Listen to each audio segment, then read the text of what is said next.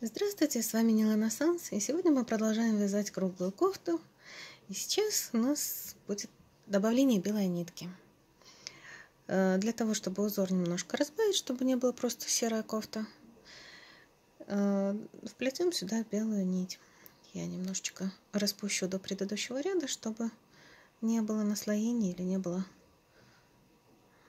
бугра. Значит, за все три петли предыдущей вершины предыдущего ряда, последняя петля ряда, зацепляю белую нитку. Так как бы мы заканчивали обычно ряд. Вот. И продолжаю вязать уже белой нитью. Три петли подъема, три петли арки,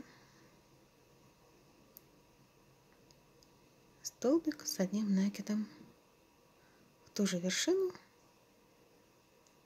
предыдущего ряда, вершину треугольника.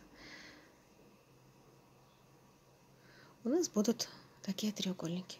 Один треугольник будет а, арка из трех петель, второй треугольник из двух петель, чтобы не слишком расширять ряд. Значит, делаем один столбик без накида в следующую вершину уже. Делаем один столбик с накидом в вершину следующего треугольника. Две петли арки. Столбик с одним накидом в ту же вершину. Ну и так далее. Арка с тремя воздушными петлями, арка с двумя воздушными петлями. Вот такой будет у нас ряд.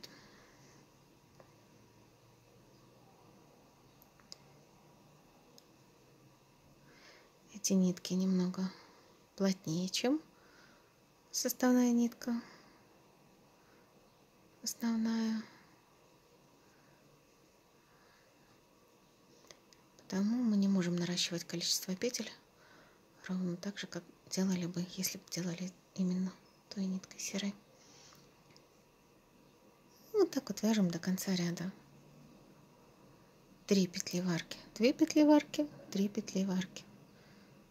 Продолжаем это чередование до конца ряда.